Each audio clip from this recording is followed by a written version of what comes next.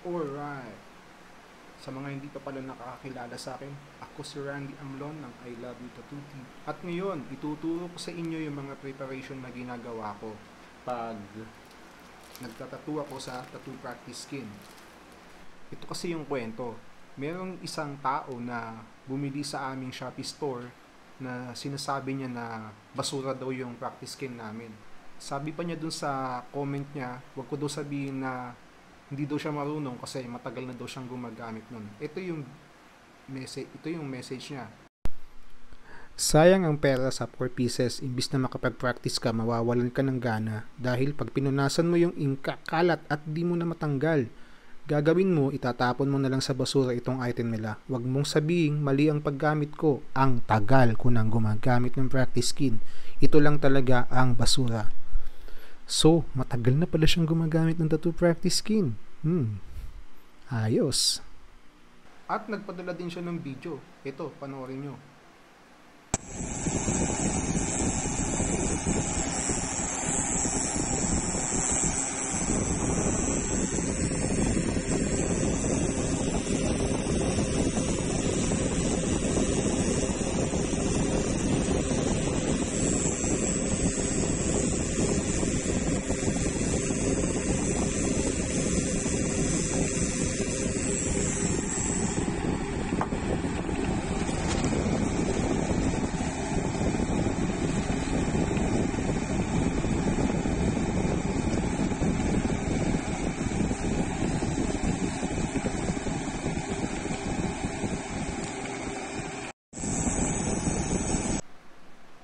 Nakita nyo na.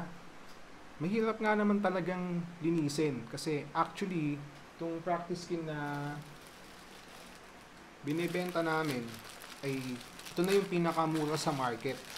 Naabot kaya ng mga nag-uumpisang tattoo artist kasi yung original price nito is nagkakahalaga ng 50 to 100 USD. Yun yung branded, yung a pound of na tinatawag nila. So ito, Chinese version to. Sa pagtatato, dapat versatile ka. Dapat sa lahat ng sitwasyon, alam mo yung diskarte. Yun yung pag-aaralan mo bilang tattoo artist. Kaya, eto, ngayon, tuturo ko sa inyo kung paano ko ito gagawin. Okay? Ito, bubuksan ko ha. Sabi niya kasi iba daw yung ginagamit ko sa YouTube channel ko. Kaya, ito, ito yung binibenta namin mismo. Okay? Ito, binuksan ko. Bayad na naman ako sa asawa ko nito. Ay, 30 pesos, 38 pesos to 50 pesos. Okay, panoorin nyo.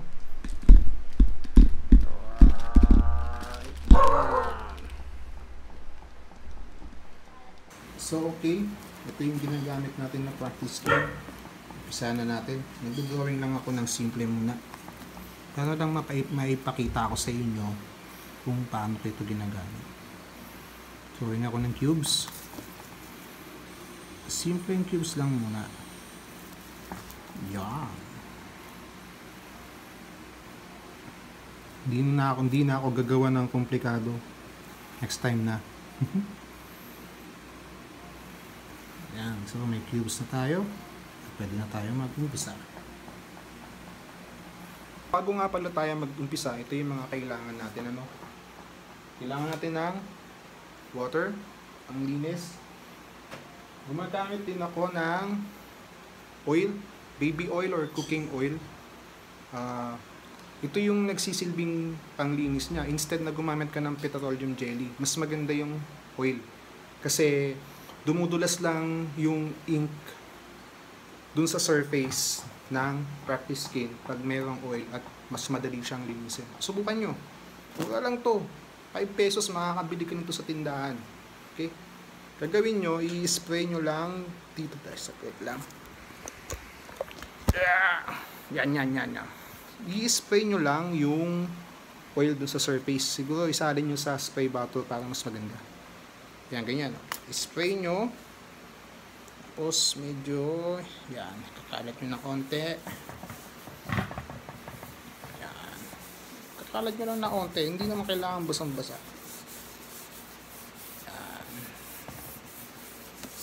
Alright. Pwede na mag-umpisa. Okay.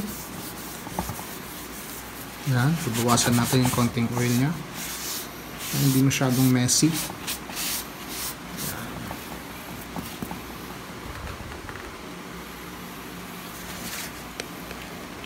Isin natin ang angle ng ating camera because mayroong glare.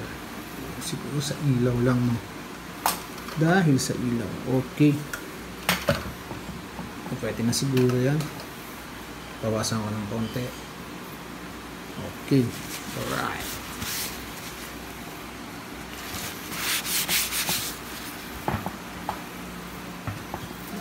Okay, isa na tayo.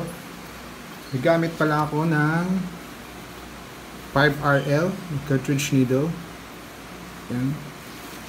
At 7 bolts. Yan. Okay, here we go. Subukan muna natin yung outline ano.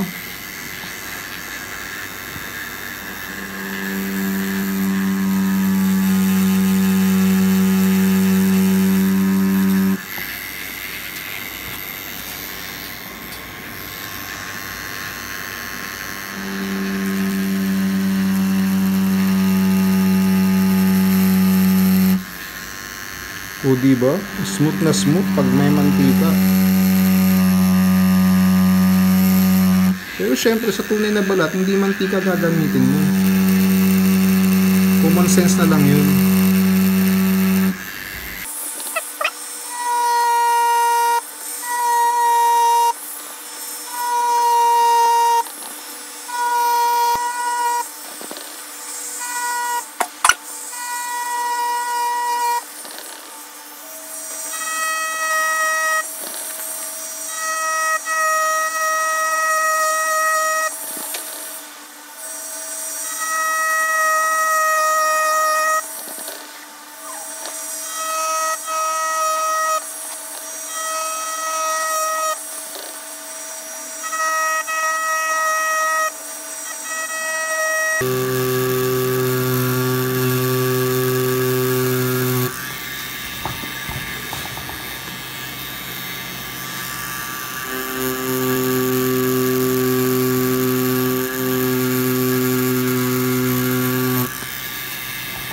O, di ba? Pasok na pasok. Lahat ng bagay na nilalagyan ng mantika, mabilis pumasok. Hehehe. Yan. Lilinisin mo lang ulit ng mantika. Yan. Oops. Pero sa, sa practice skin lang to ha. Yun yung gagamitin ko sa tunay na balat ng tao. Common sense na lang mga boss. Alright. Sobrang clean, di ba? Smooth and clean. Ngayon, shading naman tayo. Ah, color packing pala. Gagamit ako ng 13 RM. Yan po, 13 RM. Yes po, used needle na po to, pero ginamit ko lang po ito sa practice skin. Hindi ko po ito ginagamit sa tao. Yan. 13 RM at 3.5 millimeter po for color packing.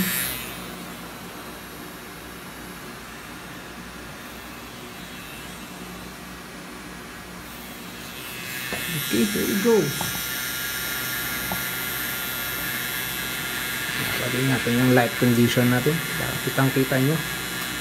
Yan pala ang tama. Okay po, ito na po. Color packing. Packing color.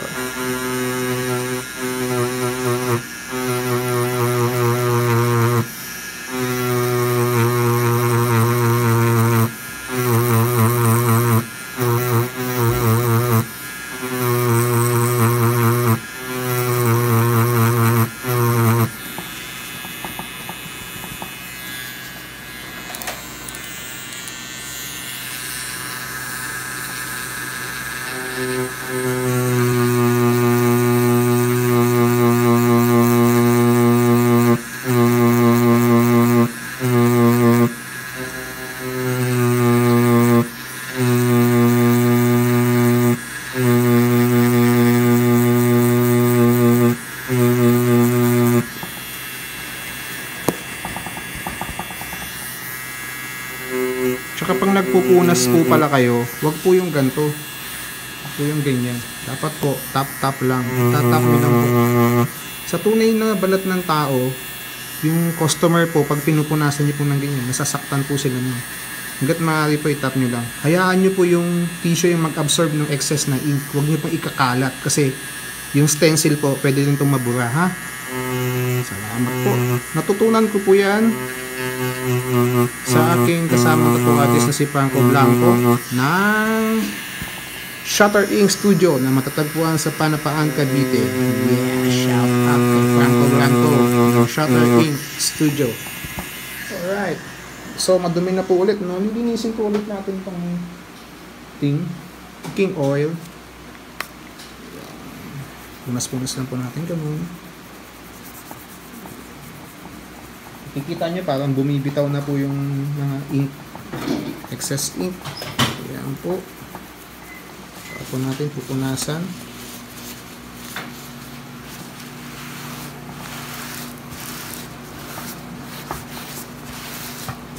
Alright. Na smooth. Ang face ng baby. Ayan. Okay, color packing. Shading naman po tayo. Wash. Nagamit po ulit tayo ng 13 RM. Ginamit natin kanina. Gamitin ko po ay wash.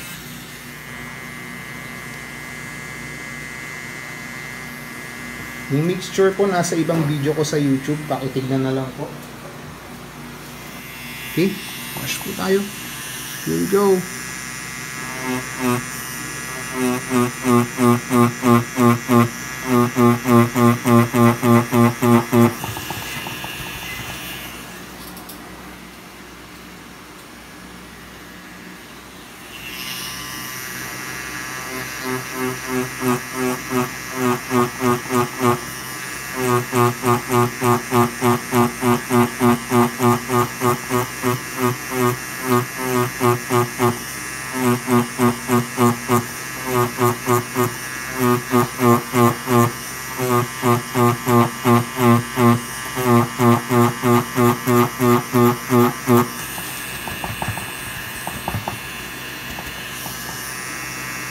Okay.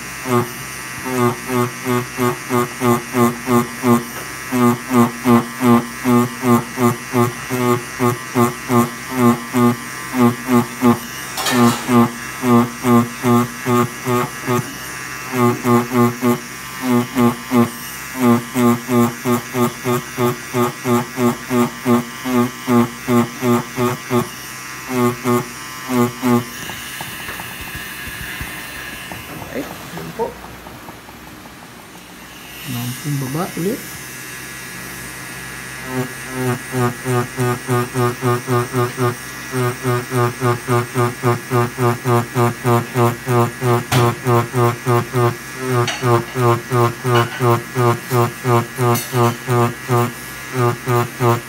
Pag kung may mali po sa ginagawa ko, feel free to comment your suggestions.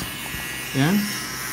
At kung hindi pa po kayo nakasubscribe, subscribe na po tayo at hit the, notifi- at hit the notification bell.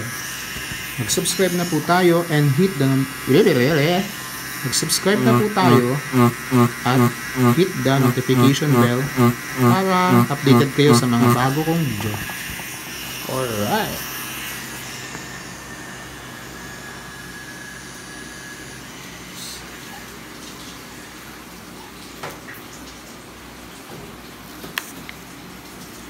Okay.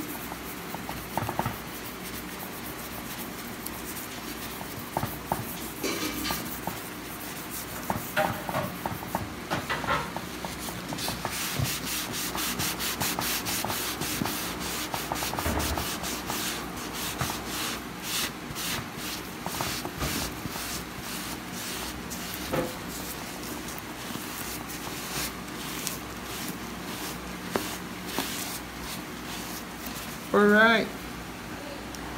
Ayun, smooth naman. Hindi po yung tulad sa video na pinadala niya, di ba? Na halos hindi na natatanggal. May paraan po. Kailangan lang po natin ng diskarte. Alright. So, ito po. Ito yung finished product niya. Kung makikita nyo, smooth naman po siya. Po, hindi po tulad dun sa pinadala niyang video. So, hindi naman po ito basura. Sa murang halaga, nakapag-ensayo ka na, samahan mo na lang ng konting diskarte, syempre. Ang pagiging tattoo artist ay hindi lang puro nakapokus ka sa galing mo mag-drawing. Kailangan mo din mag-focus sa diskarte mo, sa hygiene, proper hygiene, sa dapat versatile ka. Parang sa tunay na balat nga ng tao, hindi naman lahat ng balat ng tao madaling pasukan ng tinta. Meron kang makakasalamuha minsan, nakakailang baon ka na, hindi pa rin hindi pa rin pumapasok yung tinta. So, dapat may diskarte ka. Alam mo yung yung diskarte sa sitwasyon na ganun. Ganun din sa practice skin. Kailangan madiskarte. Alright? Maraming salamat sa inyo. See you sa next video. At shout out nga pala sa Skull and Butterfly Ink Food. Sa Astig Stencil Transfer. As a Chill Nature Soap. Artisan Soap. Chill Nature Artisan Soap. At kung nag-crave kayo sa masarap na Batangas Lomi, lalo na ngayon sa panahon na to, palamig na, pumunta lang sa Roots Kahanggan, Batangas Lomi. Located at Alfonso Sandoval Street, Pinagbuwatan, Pasig City. Masarap po ang mga lomi nila dyan, tsaka yung bagnet cake. Yan, kakain kami dyan mamaya. Hmm, kapitan. Cool.